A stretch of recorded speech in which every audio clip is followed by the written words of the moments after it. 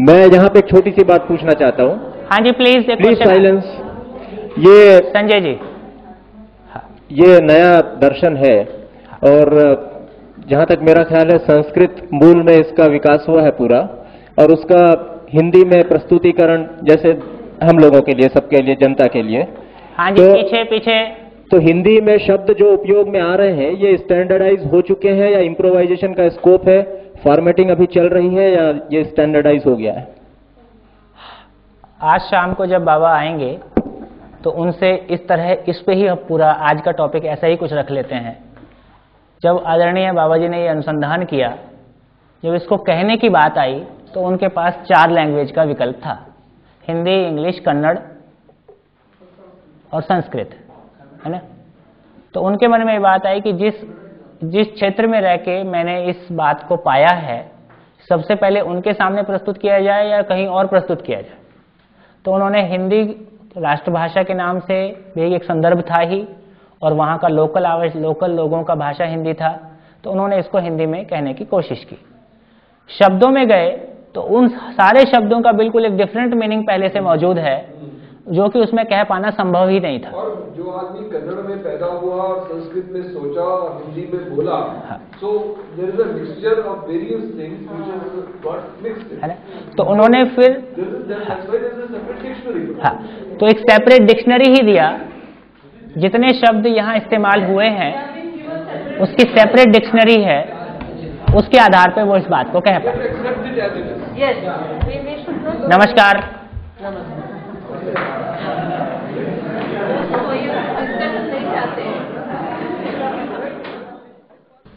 हाँ जी।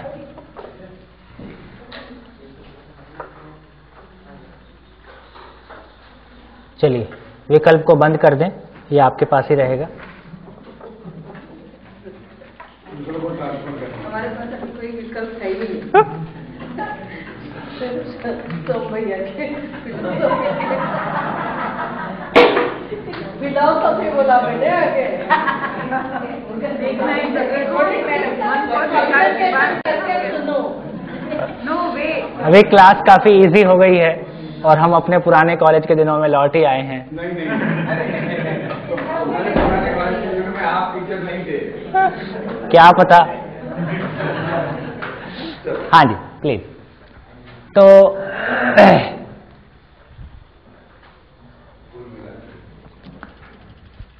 मानव जीवन और शरीर का संयुक्त साकार रूप है। जीवन शरीर को चलाता है और जीवन स्वयं में कैसे चलता है और उसका मैकेनिज्म कैसे काम करता है है ना? कहीं ना कहीं ये हमारी स्वीकृति अभी तक भी थी कि मन शरीर को चलाता है। फिर मन और ब्रेन आपस में उलझ जाते थे। ये मन ब्रेन का ही कोई हिस्सा है कि क्या है और फिर वो, फिर आत्मा तो पकड़ में नहीं आता है है ना? तो अब एक बार हमको जीवन अपने आप में एक एंटिटी है। दस क्रियाओं का, है ना, एक अविभाज्य वर्तमान का नाम जीवन है। जीवन जीवन रूप में रहता है, भ्रमित रहता है तो मानव रूप में हम दुखी रहते हैं। जीवन जागृत होता है तो मानव रूप में हम सुखपूर्वक जी पाते हैं। जीवन स्वयं, जीवन ही सुखी दुखी होता है, ये बात हमको समझ में आती है। अभी हमने कुछ चर्च, कुछ क्रियाओं को लेकर चर्चा की तो ये बात बहुत क्लियर है, जैसा संजय जी बोल रहे थे, कि भाई जब तुलन कह दिया तो तुलन ही कह लो, फिर अलग से इसको और नाम देने की क्या ज़रूरत है? क्योंकि ये शब्द परंपरा में प्रचलित हैं, कहीं ना कहीं हमारे मन में आता है इसका मतलब मन कुछ वृत्ति भी कुछ और होता होगा। तो ये वर्ड्स का एक ठीक प्लेसमेंट कर दिया, है ना? कि भाई क्रिया मूल में तो क्रिया है। आस्वादन बोलते हैं तो हम क्लियरली अपने भीतर पहचान पाते हैं। चयन बोलते हैं, हम अपने भीतर पहचान पाते हैं कि मेरे भीतर सिलेक्शन हो रहा है। और उसके आधार पर मेरा कार्य व्यवहार है। तो कार्य व्यवहार के लिए जो निर्णय जीवन में हो रहे हैं, उनका नाम चयन है। है ना? वो चयन क्रिया है। और विश्लेषण, चित्रण, चिंतन, है ना? ये सब हमारे भीतर घट रहा है। अभी हम देखें तो साढ़े चार क्रिया में हमारा जीना बन रहा है। ये साढ़े पाँच क्रिया चुप है। यही हमारे जीवन का खालीपन है। बेसिकली साढ़े चार क्रिया केवल इंस्ट्रूमेंट है। है ना? और जो जो चीज़ जैसी है, उसको वैसा पहचानने की क्षमता, है ना? और ये साढ़े चार क्रिया ब्रेन पे प्रोसेस होता है। इसके ऊपर वाली क्रिया ब्रेन पे प्रोसेस भी नहीं होती। तो जैसे ही हम इसके ऊपर वाले पार्ट पे काम करते हैं, वो ब्रेन को थकने वाला मामला भी खत्म हो जाता है।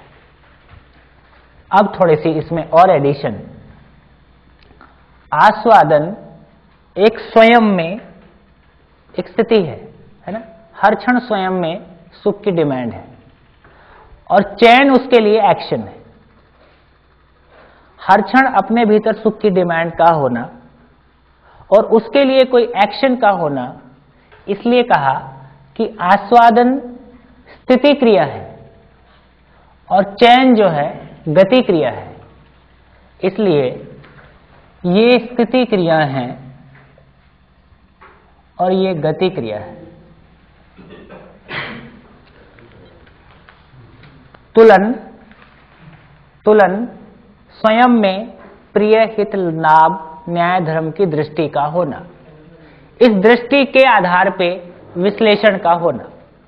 तो तुलन स्थिति है विश्लेषण उस पर गति है। ठीक? एक ही क्लैरिफिकेशन। आपने कहा कि जो साढ़े चार क्रिया है वो ब्रेन में प्रोसेस होती हैं। तो तुलन मतलब आधा तुलन नहीं होता है न्याय धर्म यदि और यदि भ्रमित है तो आधा तुलन होता है। यदि जागृत है तो पूरा तुलन होता है। सो सो बेसिकली पाँच क्रिया जो हैं। वो प्रोसेस साढ़े चार नहीं तो पाँच। राइट हाँ जी। ठीक हो गया? चित्रण। या तो केवल चित्रण ही हो रहा है कंडीशनिंग पे बेस्ड जब का अर्थ स्पष्ट होता है तो चित्रण की रोशनी में, चिंतन की रोशनी में चित्रण। है ना? चिंतन की रोशनी में चित्रण होते ही आशा, विचार, इच्छा सही के अर्थ में सज जाता है। है ना? अभी चिंतन का, चिंतन शब्द का हम बड़ा लूज इस्तेमाल करते हैं। चिंतन का अर्थ आशा, विचार, इच्छा को, विश्लेषण को समझने के लिए इन्वेस्ट करना। तो क्या हुआ? चिंतन के लिए विश्लेषण करना। अर्थ को पाने के लिए अपनी आशा, विचार, इच्छा को इन्वेस्ट करना। ध्यान देना, है ना? आशा, विचार, इच्छा को नियोजित करना। अर्थ का स्पष्ट हो जाना बराबर चिंतन का होना। तो अर्थ का स्पष्ट होने से चिंतन हुआ। उसके पहले चिंतन के लिए प्रयास है। और बाकी बातें हम लोगों ने की हैं। ना इसके बाद। तो ये स्थिति क्रिया तो आस्वादन, तुलन, चिंतन, बोध, अनुभव, ये स्थिति क्रिया है। और इसके लिए जो एक्शन है, उसको कह रहे हैं गति क्रिया आस्वादन के लिए चयन, तुलन के आधार पर विश्लेषण, चिंतन के आधार पर चित्रण। इसलिए ये जितनी भी स्थिति है, स्थिति को हम बोलते हैं बल। और गति को बोलते हैं शक्ति। इसलिए बोलचाल की भाषा में मनोबल वृत्ति बल चित्त बल बुद्धि बल आत्मबल, है ना? ये बल है। और आशा शक्ति, विचार शक्ति, इच्छा शक्ति, समझने की शक्ति और प्रमाण के रूप में ये हम, ये जीवन में शक्तियाँ हैं। तो यूँ कहें कि जीवन में पाँच बल हैं और पाँच शक्तियाँ हैं या यूँ कहें कि जीवन दस क्रियाओं का पुंज है है ना? ये एक ही बात है।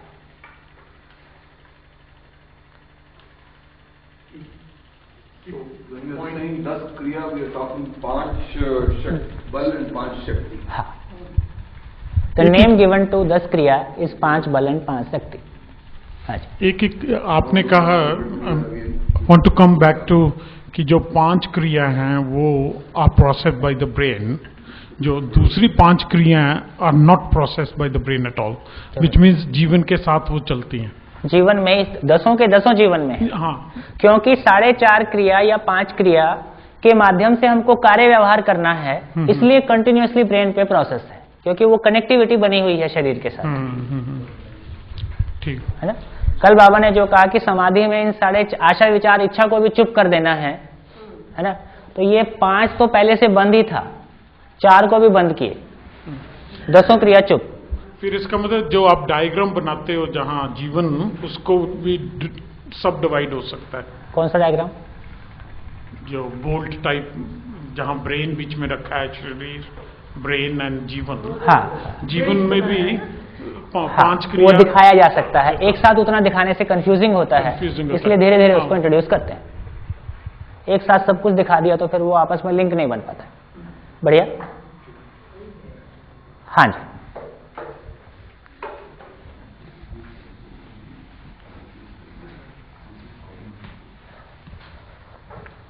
अब देखिए एक जो प्रैक्टिकल फीलिंग हमको आ रही है कि जब मैं इन सारे, इन क्रियाओं के बारे में हम बात करते हैं तो हम क्लियरली फील कर पाते हैं। जब चिंतन, संकल्प, बोध और प्रमाणिकता, अनुभव की बात करते हैं तो ऐसा लग रहा है ये कुछ हमसे रिलेटेड बहुत नहीं लग रहा है। है ना? हमारी चाहना में तो है, पर जितना क्लियर फीलिंग आस्वादन, तुलन, चयन, विश्लेषण, चित्रण की आ पाती है, उतना क्लियर फीलिंग इस ऊपर वाले पार्ट पे नहीं आ पाती। क्योंकि शायद वो पार्ट हमारा उतना यूज़ नहीं, वो क्रियाएँ हमारी अभिव्यक्त नहीं हो रही हैं। है ना? तो अब एक बार ये ऊपर वाले पार्ट का क्या मतलब है? इसमें क्या प्रोसेस होता है? उसकी बात करते हैं। तो कुल मिला के ज्ञान का मतलब क्या है?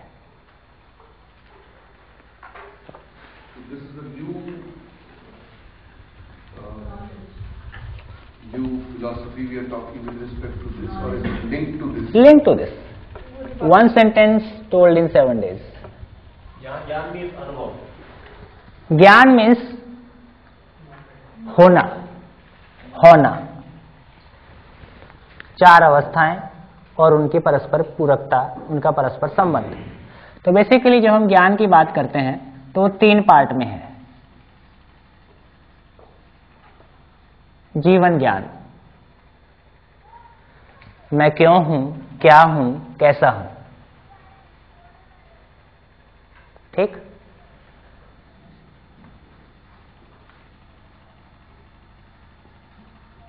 अस्तित्व दर्शन ज्ञान।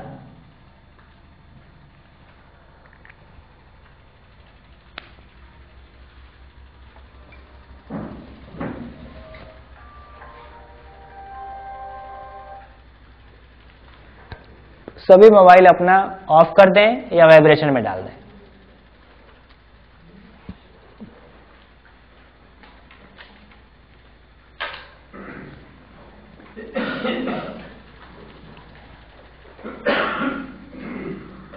बढ़िया। अस्तित्व दर्शन मीन्स मुझसे अलग जो भी कुछ है है ना? उसके बारे में ज्ञान क्यों है, क्या है, कैसा है? है ना? मैं क्यों हूँ, मैं क्या हूँ, मैं कैसा हूँ? मुझसे अलग जो भी कुछ है, ये चारों अवस्थाओं की समस्त इकाइयाँ, है ना? और जो भी कोई रियलिटी है, सब कुछ, जो भी कुछ है क्यों है, क्या है, कैसा है? ये समझ में आता है। तो मानवीयता पूर्ण आचरण ज्ञान।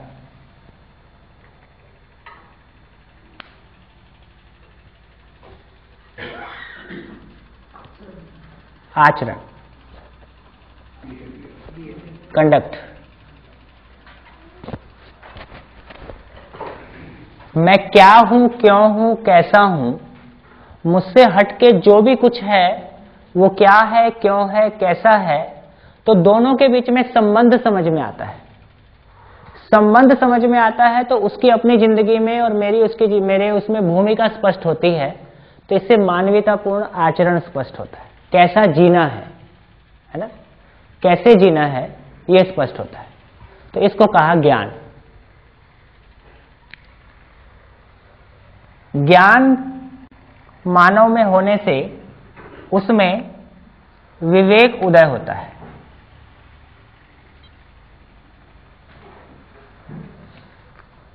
विवेक क्या चीज़ है? जीवन के अमृत्व का बोध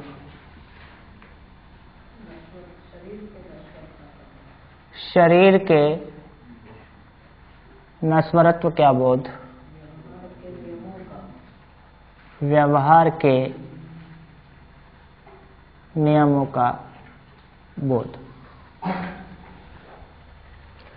इसको कहा कि इससे मानव लक्ष्य स्पष्ट होता है। क्या स्पष्ट हुआ? कि मानव लक्ष्य समाधान समृद्धि अभय और सह अस्तित्व पूर्वक जीना है। सह अस्तित्व को प्रमाणित करना है।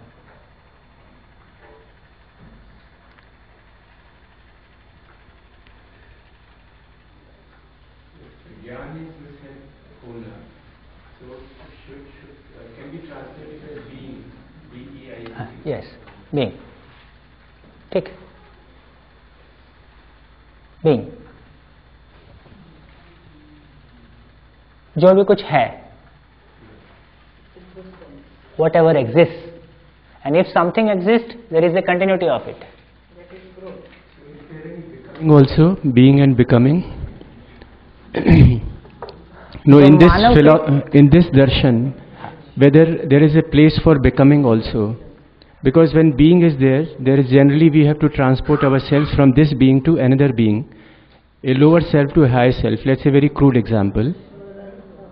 So एक मिनट एक मिनट फिर से एक बार Yeah.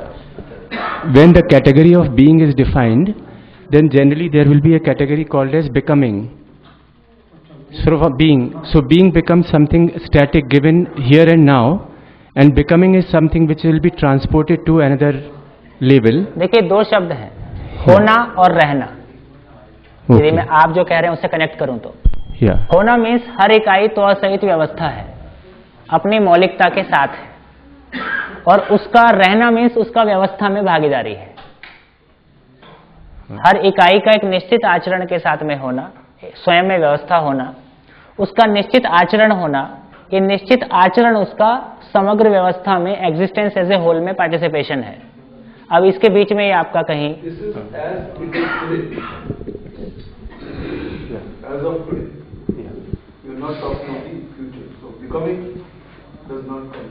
आई थिंक सर यहाँ पे जो व्यवस्था है इस चित्र में जो दर्शाई गई है वो बीइंग है और मनुष्य का समाधानित हो जाना समझदार हो जाना वो बिकमिंग है।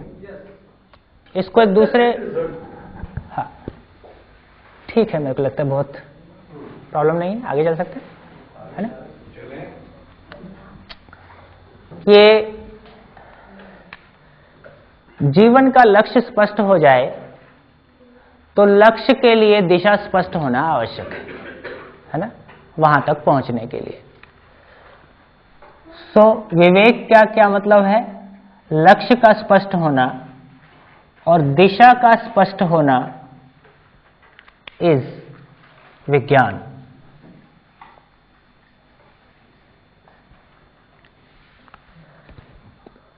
थोड़ी सी विज्ञान की एक डेफिनेशन है। क्रियावादी ज्ञान।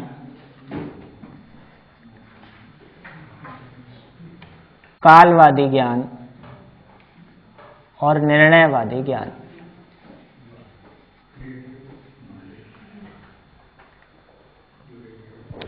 ये अब हम यहाँ आके विज्ञान का प्लेसमेंट होता है साइंस एंड टेक्नोलॉजी का प्लेसमेंट होता है। है ना? अभी वर्तमान में हम देखते हैं तो जो एक विरोधाभास है कन्फ्लिक्ट है, कि एक तरफ़ हम अध्यात्म की बात करते हैं, फिर हम एक विज्ञान की बात करते हैं, एक तरफ़ लक्ष्य है, एक तरफ़ दिशा है। अध्यात्म की बात करते हैं तो लक्ष्य मिलता है, परमानंद। लक्ष्य तक पहुँचने की दिशा प्रमाणित नहीं हुआ। सभी पा सकें, सभी पहुँच सकें, सभी के लिए उपलब्ध हो जाए, प्रमाणित नहीं हुआ। विज्ञान की बात करते हैं तो लक्ष्य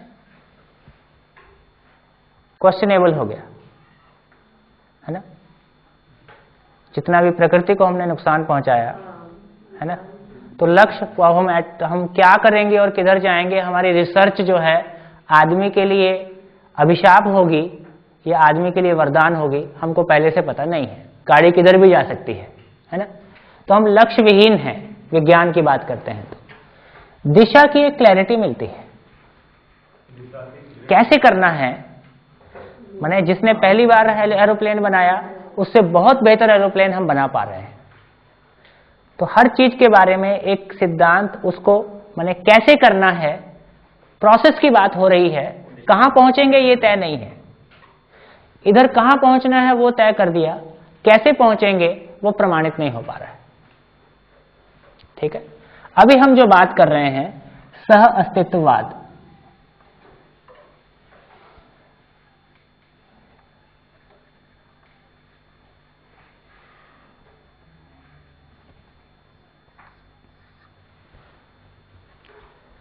लक्ष्य भी स्पष्ट है, दिशा भी स्पष्ट है। जांचना आपको है। है ना? तो इस रूप में जब हम अविज्ञान की बात करते हैं तो क्रियावादी ज्ञान, संपूर्ण क्रियाओं का ज्ञान होना। काल। अब यहाँ टाइम जब क्रिया है तो वहाँ काल है। टाइम की बात आती है, मैं अभी डिटेल्स में नहीं जाऊँगा क्योंकि ये शिविरों का मैटर नहीं है। नॉर्मली बहुत चर्चा इसको नहीं छेड़ते हैं। और उसके आधार पे हमको डिसीज़न लेना है, निर्णय लेना है। और इसी बीच में सारा टेक्नोलॉजी का उपयोग, सदुपयोग है। तो मैंने सिर्फ़ आपके सामने रख के छोड़ दिया है।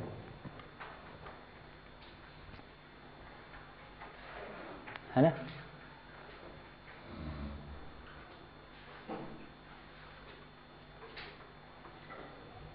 ठीक? तो ब्रीफ में कहें, सह अस्तित्व अनुभव में क्या आता है? सह अस्तित्व अनुभव में आता है। संपूर्ण इकाइयाँ साथ साथ हैं, है ना? इसके पीछे जो आधार है, उसका स्पष्ट हो जाना, है ना? बोध में क्या आता है? लक्ष्य का बोध होना दिशा का बोध होना और हर एक वास्तविकता का बोध होना। चिंतन में क्या आता है? किसी भी इकाई का जो उपयोगिता है, जो उसका मूल्य है, मानव का मूल्य, वस्तुओं का मूल्य, संबंधों का मूल्य, संपूर्ण का जो उपयोगिता है, मूल्यों का साक्षात्कार होता है। ये बात पकड़ में आती है। है ना? मूल्यों का साक्षात्कार होता है, लक्ष्य, दिशा और वास्तविकता का बोध होता है, सहअस्तित्व में अनुभव होता है। ये पार्ट अभिव्यक्त होने से, ये पार्ट अपने आप नियंत्रित हो जाता है, अपने आप संयमित हो जाता है। अलग से संयमित करने के लिए कुछ नहीं करना तो संयमित होने के लिए कुछ करने की ज़रूरत नहीं है है ना? तो क्या चीज़ काम करती है? एक सूत्र काम करना शुरू कर देता है गुरु मूल्य में लघु मूल्य समाया रहता है। जैसे ही बड़ा सुख मिलता है, सुख का उपलब्ध होना, सुविधा का स्वयं स्फूर्त नियंत्रित होना, अब सामान से सम्मान की ज़रूरत नहीं है। अब सुविधा से सुख की ज़रूरत नहीं है। सुविधा अपने आप में नियंत्रित होना शरीर का उपयोग स्पष्ट होता है कि शरीर का कुल उपयोग मेरे समाधानित होने के अर्थ में है तो शरीर का हम शरीर को संभाल पाते हैं, उसकी देखरेख कर पाते हैं, है ना? जिस चीज़ की उपयोगिता हमको स्पष्ट हो जाए, उसकी देखभाल हम कर लेते हैं। बढ़िया। ये जीवन के बारे हमने कुछ बात की।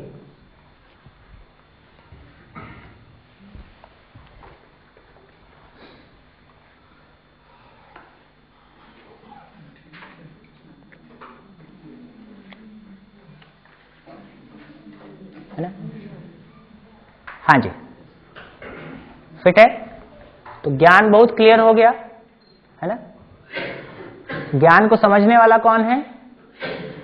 मानव। ज्ञान को समझने वाला मानव है। तो ज्ञान बहुत स्पष्ट हो गया, स्वयं के होने को समझना, अपने से दूसरे जो भी कुछ इकाइयाँ हैं, उनके होने को समझना, दोनों के बीच में संबंध को पहचान पाना और मानवतापूर्ण जी पाना। समझ पाते हैं तो आचरण अपने आप निकलता है। मान्यतापूर्ण आचरण आता ही है है ना? और उसके आधार पे विवेक का जागृत होना। विवेक जागृत होने का मतलब है ये, और उसके आधार पे साइंस एंड टेक्नोलॉजी का सदुपयोग होना, सही डायरेक्शन में उसके मानव के समाधान समृद्धि पूर्वक जीने के लिए, प्रकृति में बैलेंस बने रहने के अर्थ में साइंस एंड टेक्नोलॉजी का इस्तेमाल होना। ठीक? इस बारे में कुछ कहना चाहते हैं?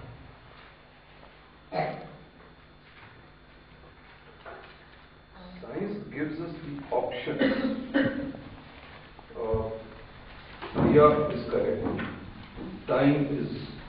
are too great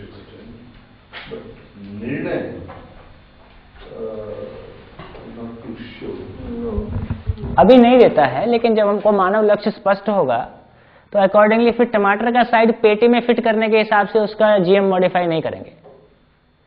टमाटर में टमाटर ही नहीं बचा केवल फ्लैश बचा फिर ऐसे काम नहीं करेंगे। Okay. हाँ।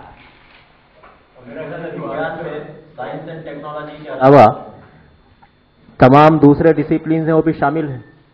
यस सभी कुछ। Yes. सभी कुछ। फिर इकोनॉमी कैसी होगी हाँ सब सब कुछ कुछ कैसे? आगे व्यवस्था क्योंकि विज्ञान यानी साइंस ऐसा कुछ एब्सोल्यूट मीनिंग नहीं नहीं है। नहीं नहीं वो अभी ऐसा मीनिंग नहीं लक्ष्य की तरफ़ पहुँचने में दिशा उपलब्ध हो जाए इसका नाम विज्ञान है। विशेष ज्ञान। है ना? तो लक्ष्य तक पहुँचने के लिए दिशा उपलब्ध हो जाए इसका नाम विज्ञान है। The difference between Anubhav and both can be comprehended better. A- any one example, because I am not able to discriminate between uh, both and है अभी जब अपन जब अपन एक बार लास्ट डे में जब फंडामेंटल्स पे जाएँगे है ना? Okay.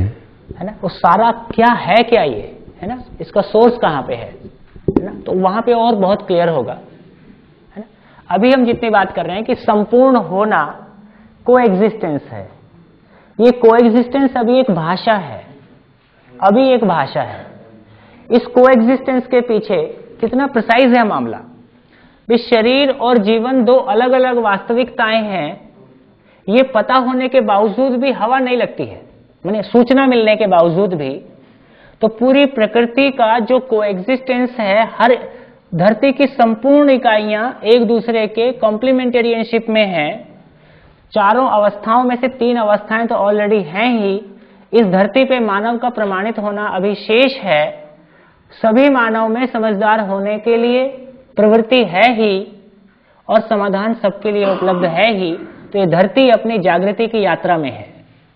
इस धरती पे चार अवस्थाओं का होना प्रमाणित हो गया। तीन अवस्थाओं का अपने आचरण सहित होना प्रमाणित हो गया। मानव का व्यवस्था में प्रमाणित होना शेष है। यही इस धरती की यात्रा के किसी पड़ाव तक मानव जाति पहुँची है है ना तो जब अनुभव जो होता है वो सह अस्तित्व में वो जो सह अस्तित्व का आधार है है ना वो वो निकल के आ जाता है। है ना वो क्या आधार है उसकी चर्चा आगे करेंगे। हाँ जी। For me, still it is not clear. For me, it is not still clear because when you say विज्ञान is लक्ष्य प्राप्त करने के लिए जो दिशा है लक्ष्य लक्ष्य तक पहुँचने के लिए जो दिशा है है। ना? वो विज्ञान है। उसका निर्धारण होना। और फिर उसके लिए उसकी स्पीड को बढ़ाने के लिए अपने समय का सदुपयोग करने के लिए फिर सारा साइंस फिर जो टेक्नोलॉजिकल टूल्स हैं वो हमको हेल्प करते हैं। तो ये टेक्नोलॉजिकल जो टूल्स है वो इसमें विज्ञान के जो तीन भाग दिए हुए हैं उसमें कहाँ फिट होते हैं? वेदर इट इज़ क्रियावादी और all three together all three together all three together. So that means you want to say that if it is so, technology will never be destructive. Yes exactly अभी देखिए भौतिक क्रिया रासायनिक क्रिया दो चीज़ें जिनका हम अध्ययन करते हैं। एक क्रिया मिसिंग थी जीवन क्रिया। दस क्रियाओं के बारे में जो हमने चर्चा किया। तो एग्जिस्टेंस में केवल तीन क्रिया है। भौतिक क्रिया रासायनिक क्रिया जीवन क्रिया। और भौतिक क्रिया रासायनिक क्रिया को इस्तेमाल करने वाला मानव है। जो भी कुछ हम कर रहे हैं साइंस एंड टेक्नोलॉजी के नाम पे है ना? और जीवन क्रिया यदि स्पष्ट नहीं हुई तो इसका दुरुपयोग होना निश्चित है। तो जीवन क्रिया के दसों जीव, जीवन में दसों क्रिया के जागृत होने से मानव अपने लक्ष्य को पहचान पाता है और रसायन भौतिक रासायनिक संसार का सदुपयोग हम अपने शरीर का ही सदुपयोग नहीं कर पाते क्योंकि हमको पता ही नहीं कि क्या चीज़ के लिए ऐश करने के लिए है। इसलिए हम ऐश करते हैं। कुल मिला के हमको समझ में आता है कि शरीर का होना मैं शरीर को इसलिए चलाता हूँ कि मैं समाधानित हो जाऊँ इसलिए शरीर को स्वस्थ रखना मेरी आवश्यकता है और शरीर को गति प्रदान करने के लिए सारे साधन हैं। फिर मुझे एक बात का एक्सप्लेनेशन मिल गया तो अच्छा है कि समटाइम्स भौतिक रासायनिक जो क्रियाएँ होती है वो कभी कभी निगेटिवली एक्सप्लिसिट होती है। फॉर एग्ज़ाम्पल एक फैमिली जिसने पाँच नोबल प्राइज मिलाए वो पाँचों चारों लोग कैंसर से गए। Curie family. क्योंकि उन्होंने पूरे संसार के लिए, संसार के लिए योगदान दिया, फिर भी वो प्राप्त करने के लिए उन्होंने खुद का जीवन उनको समर्पित करना करना पड़ा। तो इसका विश्लेषण हम ये स्ट्रक्चर में कैसा करेंगे? Suppose if you have to give that explanation how will be in a position to मैं सोचता हूँ शायद बात पूरी होने दीजिए। अपने भीतर से खुद ही निकल आए। अभी जो योगदान हम बोल रहे हैं, वो कितना यूनिडायरेक्शनल है। एक साइंटिस्ट साइंटिस्ट होने के बाद कितना खराब आदमी हो सकता है है ना? और उसके कारण उसकी ज़िंदगी में कितना बड़ा तूफ़ान हो सकता है। तो अभी हमारी कोई एक डायमेंशन है जो बहुत एनरिच हो गई है, और कोई डायमेंशन बिल्कुल लूज छूट गई है। तो एक जो टोटल डेवलपमेंट की बात है, जो होलिस्टिक डेवलपमेंट की बात है, कहीं ना कहीं वो सब और संसार तो जैसा है, वैसा है ही है। मैं बहुत अच्छा काम कर रहा हूँ खा तो वही सब्ज़ी रहा हूँ जो उस बाज़ार में उग रही है। उस सब्ज़ी खाने के कारण मेरे को कैंसर हो गया इसे मेरा अच्छा काम क्या करेगा?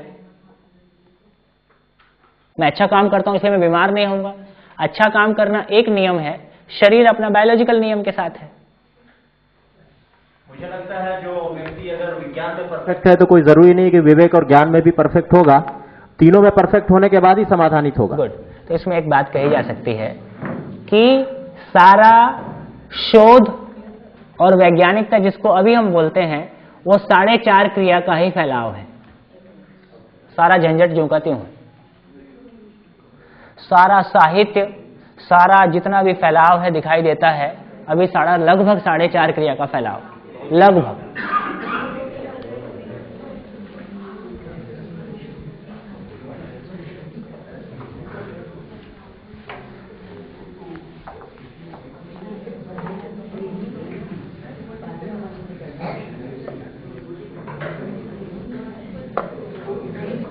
तो वाकई में एक परिवार, देखिए, कम से कम हम और आप उस पीढ़ी के लोग हैं। यदि उनको जॉइंट फैमिली पे ऐसे लिखने बोला जाए तो वो कुछ अपना जिया हुआ को लिख सकते हैं। अभी हमारे आपके बच्चे केवल उसकी कल्पना कर सकते हैं, एक बुकिश ऐसे उस पर लिख सकते हैं, क्योंकि शायद अब उनको दे, आने वाले समय में बहुत जल्दी, हो सकता है दस, बीस, पचास साल में जॉइंट फैमिली भारत में हुआ करती थी। ये एक इतिहास के पन्नों में ही हो सकता है, पढ़ने को मिले, है ना? और अभी तो कई तरह की, अभी तो ज्वाइंट फैमिली और, है? अभी तो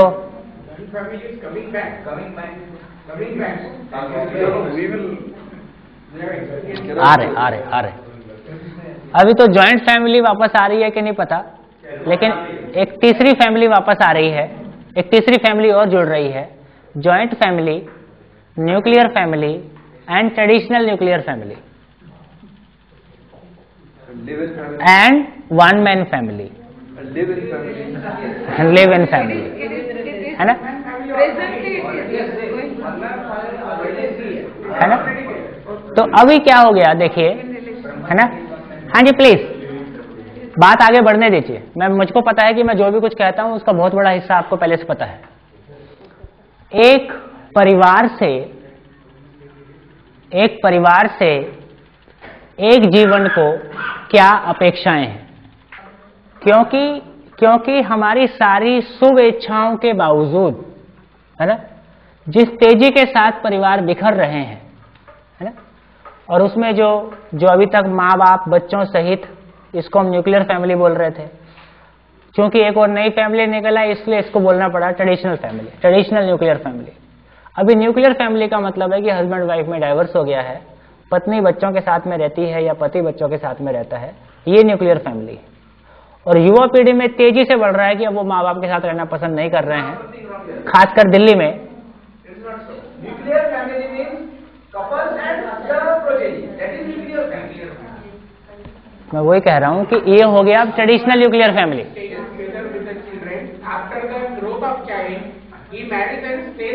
अरे वो नहीं है महाराज, मैं बिल्कुल अलग बात कह रहा हूँ।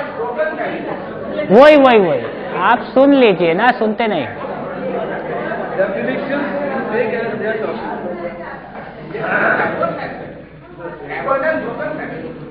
सुन तो लीजिए महाराज, सुन लीजिए। हाँ जी पीछे। है आपका पूरा लेसन कंप्लीट होने के बाद ही हाँ। बिल्कुल। आंसर है हाँ। गुड थैंक यू तो अभी जो मैं बात कह रहा हूँ मैं बिल्कुल एक ज़मीन की बात कह रहा हूँ है ना? हमारे कुछ मित्र अमेरिका में रहते हैं तो उन्होंने बताया कि हमारे यहाँ जिसको आप न्यूक्लियर फैमिली बोलते हो वो ट्रेडिशनल न्यूक्लियर फैमिली है।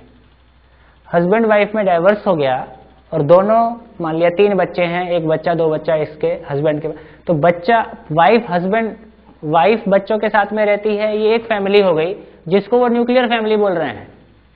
हस्बैंड बच्चों के साथ में रह रहा है, इसको न्यूक्लियर फैमिली बोल रहे हैं, जो न्यूक्लियर फैमिली थी, पति, पत्नी, बच्चों सहित, वो ट्रेडिशनल न्यूक्लियर फैमिली हो गया। इस तरह की दुर्घटनाएँ दुर्घटनाएँ ही हैं, मैं कोई ऐसा नहीं कह रहा हूँ कि कोई शाश्वत सत्य कह रहा हूँ। है ना? लेकिन ये हमारी सारी शुभेच्छाओं के बावजूद ये सब घट रहा है। तो अब हम ये कह रहे हैं कि एक परिवार से एक जीवन की क्या क्या अपेक्षाएँ हैं। ठीक? बताइए। माइक आपके पास है। चलिए, मैं लिखता हूँ, जहाँ आपका ध्यान नहीं जाएगा। कल आदरणीय बाबा जी ने रात की चर्चा में एक बहुत गंभीर बात को रखा कि अधिकांश बच्चे, अधिकांश शरीर रोगी इसलिए पैदा होते हैं कि कहीं ना कहीं हमारा रहन सहन खान पान और हमारा संयम में गड़बड़ है।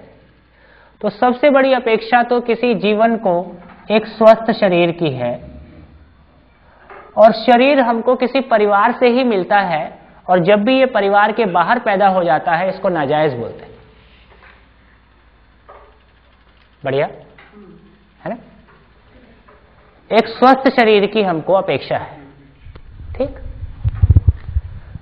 शरीर है तो शरीर का पोषण संरक्षण की बात है।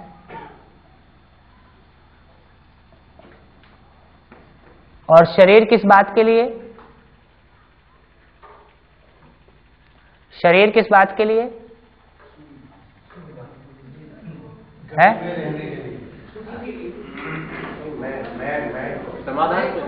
समाधान के लिए। तो समाधान परिवार में उपलब्ध हो, ये चाहत है ही। और समाधान को मैं पा सकूँ, इसके लिए मूल्यांकन हो सके परिवार में, समाधान का बात आगे बढ़ सके, है ना? मैं एक अपनी समाधान को पाके, मैं अपनी, मैं सफल हो जाऊँ, है ना? सुफल एक सही फल की उपलब्धि हो जाए है ना? ये मेरी चाहना है। इस तरह से हमने देखा कि परिवार में एक लक्ष्य है। अभी परिवार की डेफिनेशन कहेंगे तो क्या दिया जाए?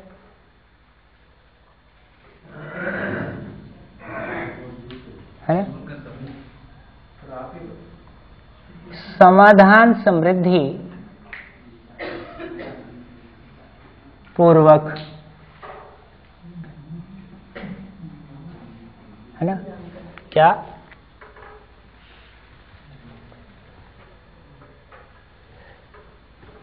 समाधान समृद्धि पूर्वक एक जीने वाला, एक निश्चित लोगों का समूह है। उसमें कुछ निश्चित लोग हैं। निश्चित मानव है है ना? तो मूल में कहें अब यदि वर्तमान में हम परिवार को देखें और उसको एक परिभाषा दें तो वर्तमान में परिवार का कैसा है? सुख सुख फिर सुख सुविधा आ गई। केवल सुविधा, है ना? सुविधा के लिए, सारा संबंध सुविधा के अर्थ में, है ना? इससे एक बात समझ में आई कि परिवार में एक लक्ष्य है, क्या? समाधान समृद्धि। परिवार में इस लक्ष्य को पूरा करने के लिए संबंध है।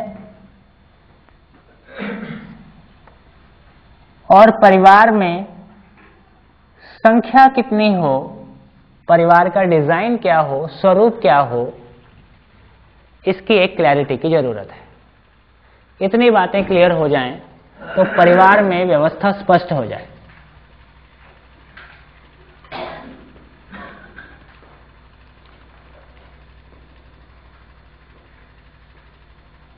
बढ़िया।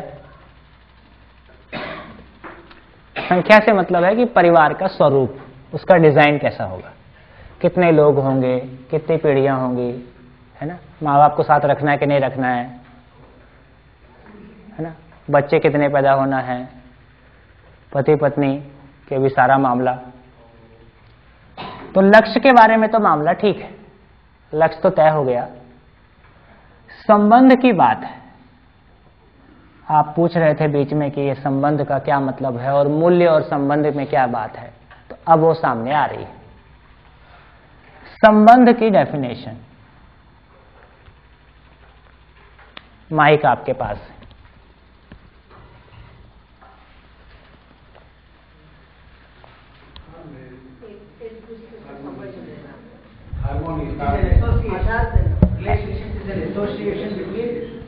Association for what? For living together. what for living together for time pass For coexistence. objective To achieve uh, Lakshya. to achieve that है ना so basically definition is पूर्णता के अर्थ में अनुबंध संबंध इज़ अनुबंध के आधार पर भागीदारी। संबंध का अर्थ पूर्णता के अर्थ में अनुबंध। ये अनुबंध जो है सरकारी वाला कॉन्ट्रैक्ट नहीं है।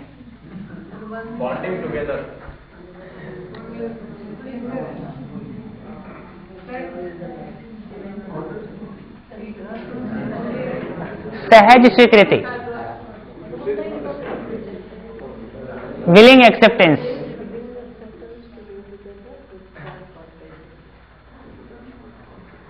एंड पूर्णता क्या है? हाँ जी भाई साहब, पूर्णता क्या है? हम पूर्ण होने के लिए एक दूसरे के साथ साथ हैं। ये पूर्णता क्या है?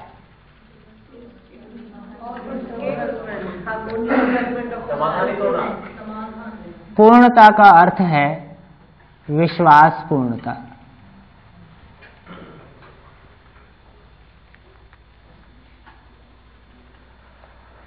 हमारे भीतर अधूरापन हमको स्वीकार नहीं है। है ना? अधूरापन क्या है? विश्वास नहीं है तो भय है। क्या भय है? धरती के मानव के पास चार भय, ना इससे ज़्यादा, ना इससे कम। प्राण भय, पद भय, धन भय और मान भय। देखिए, पांचवा भी कोई है क्या? मान भय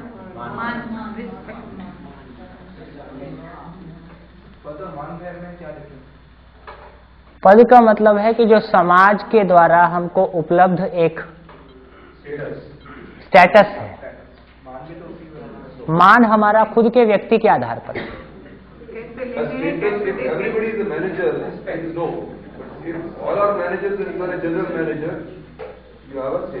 समाज समाज के द्वारा प्रदत्त पद। एक जो कुदरती भय सताता है वो क्या प्राण भय है। प्राण। है ना? किसी ने कहा ये पत्नी भय किसमें आता है? भयंकर भय। है? है पद भय। मान। मान नहीं है भय है। मान भय है। ज़्यादा एग्रेसिव हो गया तो प्राण भय। पहले उठा लिया तो और भी भय है। कोई भी हाँ जी। समय अनुसार आवश्यकता अनुसार है?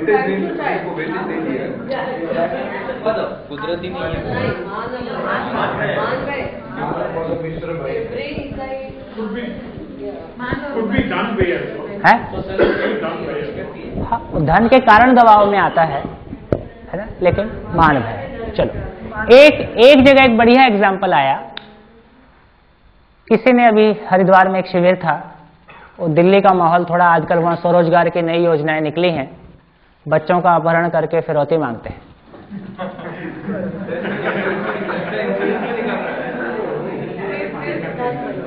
तो उस, उन्होंने कहा कि किसी माँ का बच्चा अपहरित हो गया, अब वो माँ को जो भय है, वो क्या चीज़ का भय है?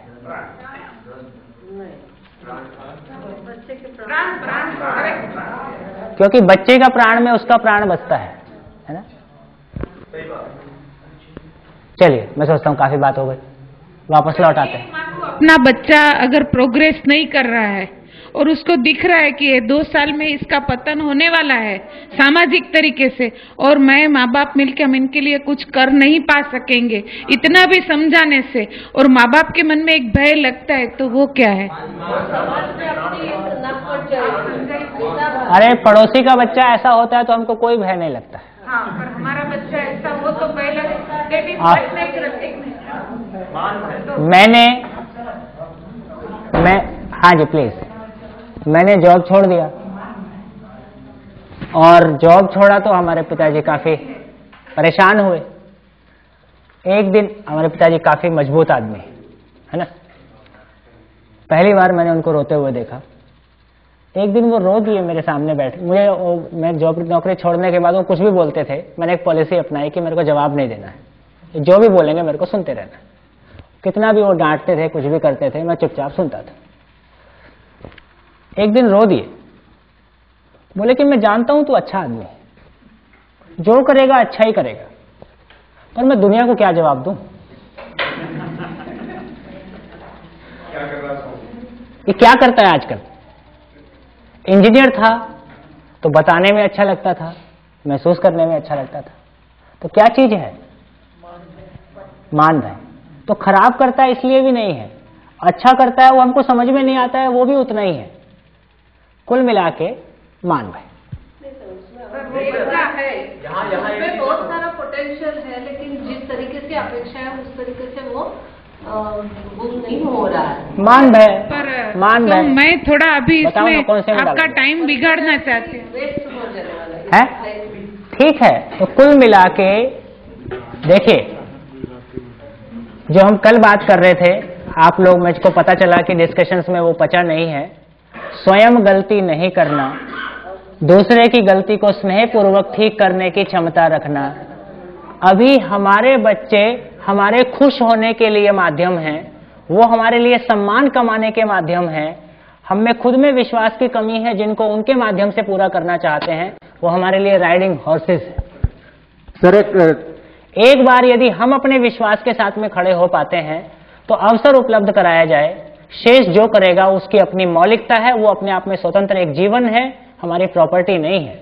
इसी भ्रमवश एक पति अपनी पत्नी को प्रॉपर्टी मानता है मेरे अनुसार चले ऐसी अपेक्षा करता है है ना?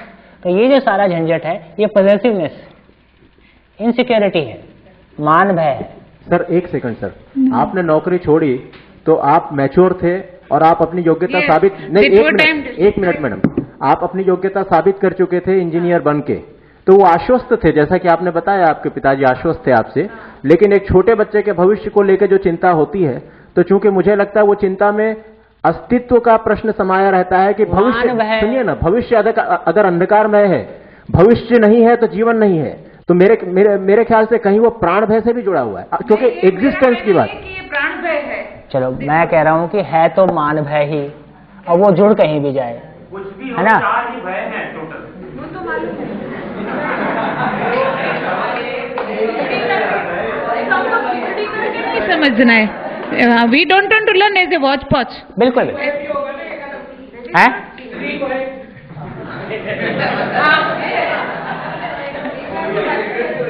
चलिए। हाँ जी प्लीज़ वापस लौट आइए विश्वास पूर्णता। ये क्लियर हो गया? अब ये विश्वास की कमी विश्वास की कमी क्या चीज़ है वो कमी होने से क्या क्या होता है वो तो कुछ कुछ हमको झलक पड़ गया। लेकिन वो तो नहीं होने का झलक है। होना क्या चीज़ है? इस पे बात करेंगे। तो मूल में विश्वास क्या चीज़ है? समझना, जीना, समझाना, सीखना, करना, सिखाना। छह डिजिट में धरती का हर मानव विश्वास पाएगा। इसमें कहीं भी कमी है, उतने विश्वास में कमी बनी रहती है। समझना, जीना, समझाना, सीखना, करना, सिखाना।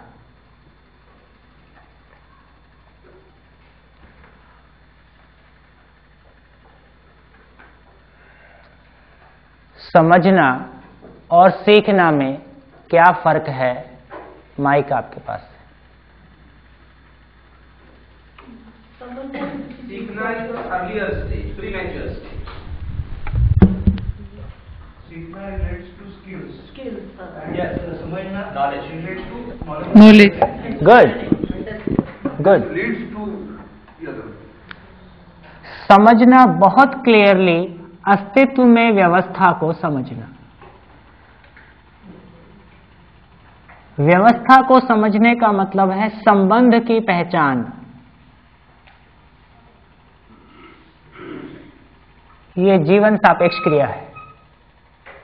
ये पूरी तरह से जीवन जैसे अभी हमारे बीच में क्या चल रहा है? समझना कि सीखना?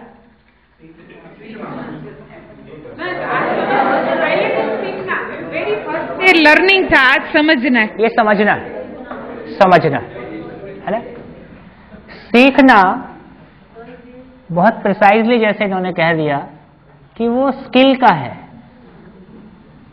कंप्यूटर चलाना सीखना, गाड़ी चलाना सीखना, कोई प्रोडक्शन एक्टिविटीज़ को सीखना, खाना बनाना सीखना, है ना? तो ये सीखना वाला पार्ट इधर है। तो प्रकृति में व्यवस्था को समझना, मानव, परिवार, समाज, संपूर्ण प्रकृति में व्यवस्था को समझना होता है। इसमें प्रैक्टिस कुछ नहीं है। समझ में आया? नहीं आया। यहाँ प्रैक्टिस इन्वॉल्व है शरीर के माध्यम से। तो ये सीखना स्किल्स को लेके है। ठीक है? आगे चलो। समझने का रिज़ल्ट क्या होगा? जीने का रिज़ल्ट क्या होगा? सीखने का रिज़ल्ट क्या होगा? और करने का रिज़ल्ट क्या होगा? सिखाना। समझना जीना समझाना के फलस्वरूप सुख सीखना, करना, सिखाना के फलस्वरूप समृद्धि का प्रमाणित होना। है ना? ये इसमें ऐड करता ही है। इससे साधन मिला, सुविधा मिली, ये संबंधों में जीने के लिए, मानव और प्रकृति के साथ हम पर्याप्त हो गए। बढ़िया? ठीक हो गया? अब देखें।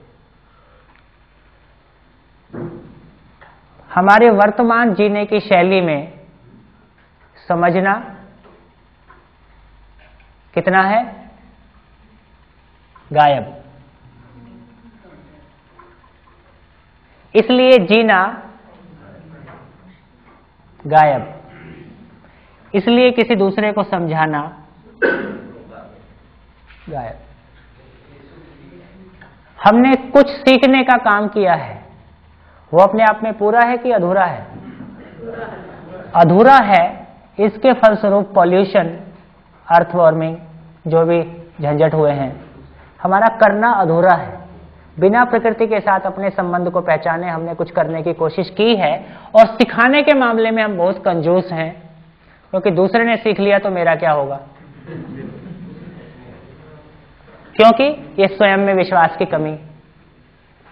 इस एनालॉजी को थोड़ा सा और फैलाएँ। हर व्यक्ति अपनी पहचान की तलाश में है। हर व्यक्ति फैलना चाहता है। आदमी का फैलने के तीन आयाम हैं।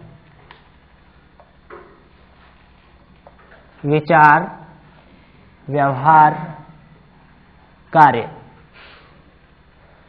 सबसे तेज और आसान फैलना कौन से माध्यम से संभव है? उससे कम उससे कम कार्य। तो एक नेचुरल ऐसा है। यदि वर्तमान जीवन शैली को देखें तो डिज़ाइन क्या मिलता है? है? सबसे अधिक आदमी कहाँ फैला? कार्य की जगह में मल्टीनेशनल व्यवहार की जगह में कोई एक मिल जाए तो बड़ी बात, जिस एक के साथ हम 100 परसेंट आर पार हो सके। ट्रांस टोटल ट्रांसपेरेंट है ना? हर एक के साथ हमको एक पर्दा रखना पड़ता है, ये शेयर किया जा सकता है, ये नहीं किया जा सकता है। इवन घर में पत्नी के साथ। है ना? किसी एक के साथ भी हम 100 परसेंट आश्वस्त होकर जी पाए और विचार के रूप में तो I am not a person I am a crowd अनेक प्रकार के कंफ्लिक्टिंग विचार मेरे ही भीतर रहते हैं। वहाँ मैं एक भी नहीं ये जो बिल्कुल, ये आदमी कैसा हो गया? सर के बल खड़ा है। विचार रूप में फैलना सबसे आसान क्यों है? है? साधनों की ज़रूरत नहीं होती। क्या? ये जीवन सापेक्ष है। व्यवहार के रूप में उससे कम फैलना होता है। क्यों? ये मानव सापेक्ष है। कार्य के रूप में शरीर सापेक्ष है।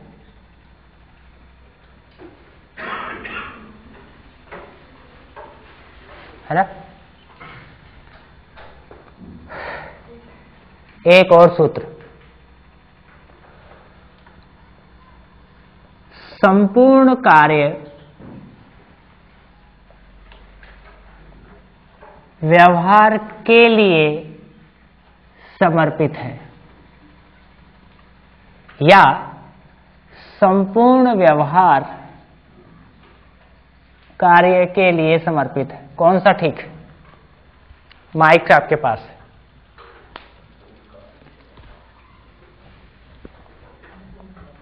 संपूर्ण कार्य व्यवहार के लिए समर्पित है। है जी। First context. वर्तमान जीवन शैली हमारी कैसी है? संपूर्ण व्यवहार कार्य के लिए समर्पित है। है ना? एम वे मार्केटिंग चैनल से लेके। दिवाली आती है तो किसको कितना गिफ्ट पहुंचाना है? ये इस पे निर्भर करता है कि किससे कितना कार्य सिद्ध हो सकता है। किस है?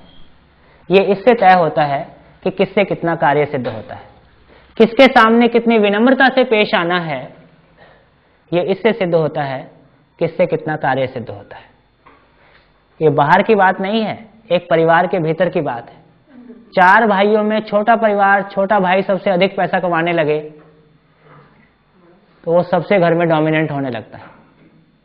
चार बहुओं में से जो सबसे ज़्यादा दहेज लेके आए, ज़्यादा दहेज वाले को बोलना थोड़ा मुश्किल जाता है। जब एक परिवार के भीतर ये हालत है तो बाहर क्यों नहीं होगा, है ना? जब खून के रिश्तों में यह हालत है तो बाहर क्यों नहीं होगा? तो क्या लगता है? ये धन समाज में इतनी महत्वपूर्ण चीज़ क्यों हो गई? आदमी की योग्यता का पहचान केवल धन क्यों हो गया? माइक आपके पास। माइक आपके पास। सुविधा खरीदने की क्षमता बढ़ती है उसके बाद। सोच है कि मैं शरीर हूँ। मैं सामान बराबर सम्मान। सामान बराबर सम्मान और सुविधा बराबर सुख है ना? कुल इतना गणित हमारे आसपास फैला हुआ है। एक और बड़ा इंटरेस्टिंग सा मामला है। पुरुषों का सैलरी नहीं पूछना चाहिए, महिलाओं का एज नहीं पूछना चाहिए। ये एक इंटरनेशनल मर्यादा है। इंटरनेशनली ऐसा है। इसके पीछे क्या तथ्य है? कहाँ से निकल के आया ये? किस मानसिकता से निकल के आ रहा है? पुरुष कमाएँगे और स्त्री भोगवा भोग्य वस्तु है। इनके शब्दों को और आदमी की पहचान प्रतिष्ठा का पर्याय माना गया। वही सूत्र उतना ही आदमी की पहचान का आधार पैसा दोनों सूत्र में शरीर हूँ। और कहीं ना कहीं महिलाओं में पहचान का आधार सुंदरता। इसके बारे में कुछ पूछ लिया और कम निकल गया दोनों बड़ी ऑकवर्ड स्थिति में आ जाएँगे। तो इधर नहीं पूछना। तो कुल मिला के अब हर चीज़ की जड़ के पीछे कुछ भी मान्यता समाज में यदि प्रिवेल करती है और एक लार्जर कम्युनिटी में प्रिवेल करती है, इसका मतलब उसके कहीं रूट्स है। ऐसे नहीं कुछ भी चल गया है। अब हर चीज़ के पीछे हमको उसकी रूट नज़र आएगी। हर चीज़ के पीछे उसका कारण हमको पकड़ में आएगा। और यही है यही है यही है, से हमारा विश्वास पुष्ट होता है। हाँ चीज़ों को मैं समझ पा रहा हूँ और मेरे को आदमी समझ में आने लगा है। अपना खुद का होना समझ में आने लगा है। मैं कब क्या करता हूँ, क्यों करता हूँ, है ना? सामने वाला भी कैसे बिहेव करता है? यदि मुझको समझ में आता है तो फिर मैं अभी हम अधिकांश समय रिस्पॉन्ड करते हैं कि रिएक्ट करते हैं। रिएक्ट करते हैं। जबकि हम चाहते क्या है? रिस्पॉन्ड करें। रिस्पॉन्ड कब करेंगे? क्यों रिएक्ट करते हैं? विश, विश्वास में कमी। जब जब विश्वास में कमी का सूचना ही केवल रिएक्ट करना है है ना? इसलिए एक सूत्र है अपनी अक्षमता का प्रदर्शन क्रोध है।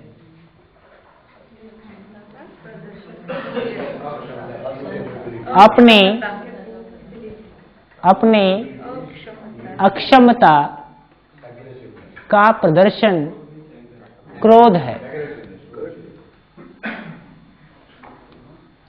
अपनी अक्षमता का प्रदर्शन क्रोध है।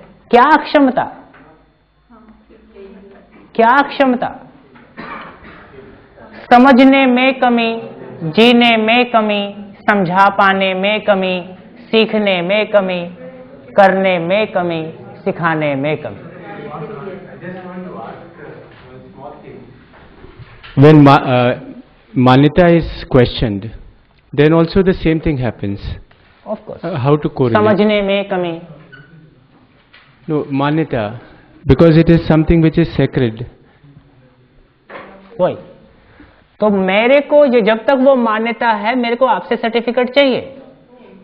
और आप सर्टिफिकेट नहीं देते हो तो मैं हिलने लगता हूँ। और यदि मुझको पता है कि टू प्लस टू चार होता है तो मुझको आपके सर्टिफिकेट पे मैं डिपेंडेंट नहीं हूँ। आप मानो तो भी ठीक नहीं मानो तो भी ठीक। इससे होने पे कोई फ़र्क नहीं पड़ता है। इसलिए आप नहीं हिलते डुलते हो। तो मेरे विश्वास में कमी ही मेरा हिलना डुलना है। क्या चीज़ के बारे में विश्वास? समझना जीना समझाना सीखना करना सिखाना। बढ़िया?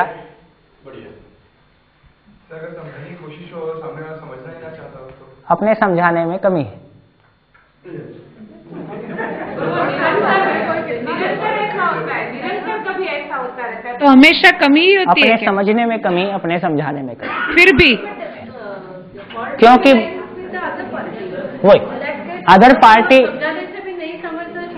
एक एक पहले छह दिन छह दिन पूरे हो जाने देते हैं। अभी हम अपने बचने के लिए गली तुरंत निकालना चाहते हैं। है ना? पहले यदि हम किसी को नहीं समझा पा रहे हैं तो अपने आप से क्वेश्चन पूछा जाए क्या मैं पूरा समझ गया हूँ? सामने वाला भी कंडीशन हो।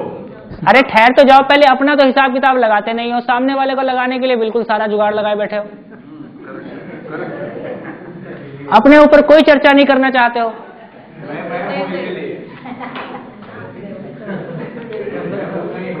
है ना? पहले अपना ऑडिट कर लिया जाए फिर सामने वाले की बात करेंगे। तो पहले अपने आप से क्वेश्चन पूछें क्या मैं संपूर्ण को समझता हूँ? क्या उत्तर आता है? कभी हाँ या ना? कभी कभी हाँ। कभी कभी हाँ। तो ये कभी कभी हाँ से चलता नहीं। हाँ जी प्लीज़ मैडम थोड़ा सा ये इंपॉर्टेंट बात है। हमको किसी आयाम में लगता है कि मैं समझता हूँ। है ना? समझना अपने आप में एक अखंड चीज़ है। It is undivided because existence itself is undivided if I understand it, if I understand it, then I understand it completely how the coexistence is. अभी जिसको हम समझ कह रहे हैं वो किन्हीं किन्हीं एरियाज़ में हमारी एक्सपर्टीज है। मैं कंप्यूटर प्रोग्रामिंग में बहुत एक्सपर्ट हूँ समझना समझना कुछ नहीं है वहाँ पे। वो एक हमने एक लॉजिक को सेट कर लिया है। समझना लॉजिक के ऊपर की चीज़ है। तो अभी समझ के नाम पे हम क्या मान के बैठे हैं? हमारी कोई मान्यता इतनी गहरी हो सकती है जो मेरे को बिल्कुल समझ जैसी ही लगती है। अभी तो जानना और मानना के बीच में कोई डिफ्रेंशिएशन हम कर नहीं रहे है। ना? तो एक बार उसको जांचा जाए। और समझने का मतलब है कि मेरे जीने में ट्रांसलेट होता है। है ना? यदि मेरे जीने में ट्रांसलेट होता है तो सामने वाला आपसे सुनना ही चाहता है। आपके लिए उसका एक्सेप्टेंस आप जिस चीज़ को समझा रहे हो वो आपके जीने में नहीं है तो आपके शब्दों के प्रति उसको भरोसा नहीं है। तो बहुत सारे डायनेमिक्स काम करते हैं। धीरे धीरे। संपूर्ण को समझने और संपूर्ण को समझाने की बात आप कर रहे हैं। मैं डे टू डे मैटर्स की बात कर रहा हूँ। जब मैं इंटरेक्ट करता हूँ किसी से सामने वाला एडेमेंट है या उसका इंटेंशन खराब है जानबूझ के नहीं समझना चाहता तो क्या तब तब भी मैं नालायक हूँ? और थोड़ा सा आगे ये सवाल है। और थोड़ा सा आगे चलते हैं जी। ये हमने कुछ बात की, विश्वास को लेके। है ना ऐसे बहुत सारे क्वेश्चन अब उठेंगे और सबका एक प्रैक्टिसेबल आंसर आपको दिखाई देगा।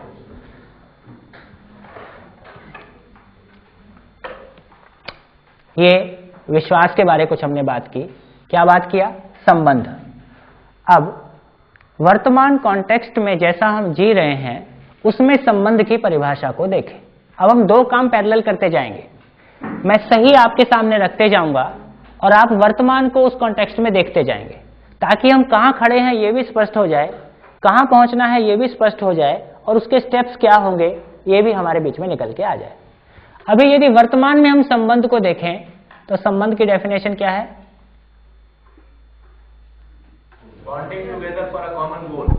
What common goal. अभी जैसा हम जी रहे हैं उसकी बात कर रहा हूँ। अभी वर्तमान में हमारा परिवार के बीच में या लोगों के साथ में संबंध का क्या? क्या डेफिनेशन होगा?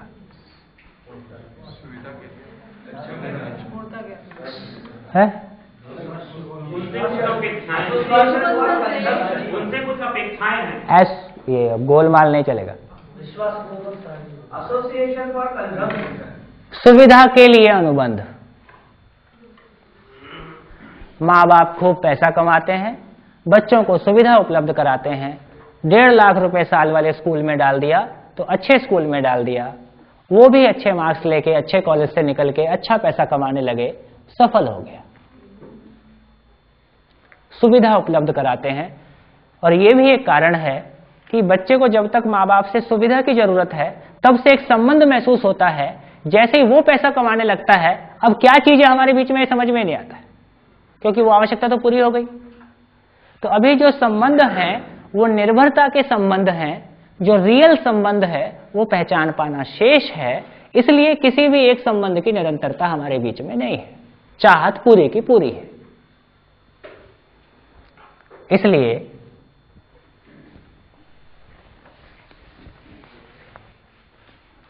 मूल्य मैंने क्या है? उपयोगिता।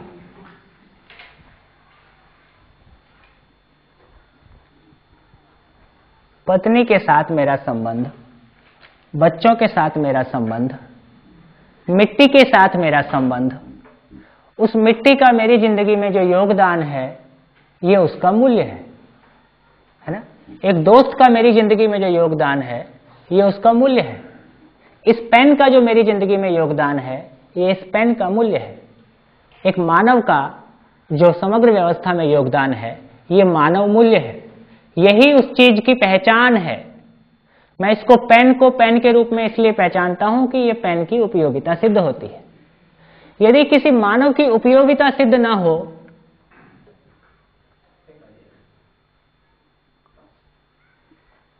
तो उसकी पहचान क्या होगी?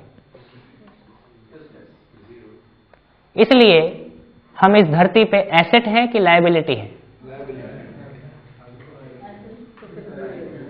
Can be an asset.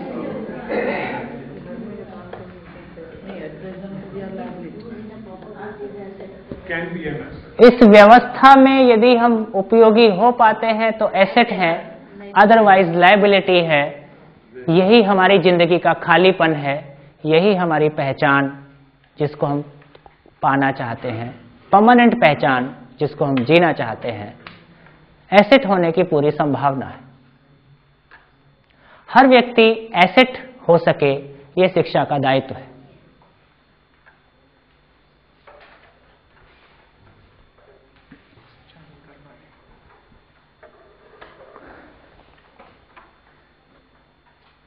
So, every human being is a solution producing factory. Unless and until you are a solution producing factory, one cannot be an asset.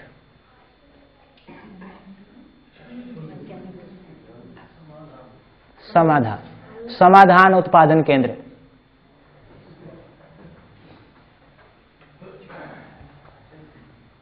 So would you mind repeating this maxim? हाँ जी Every human being is a solution producing factory. Every human being wants to be a solution producing factory. चाहता है ही है चाहता ही है हो जाए तो मज़ा आ जाए he should be he should be है ना. सॉल्यूशन हम तो कहें इज़ अ आदमी को आदमी तभी कहें जब वो सॉल्यूशन प्रोड्यूसिंग फैक्टर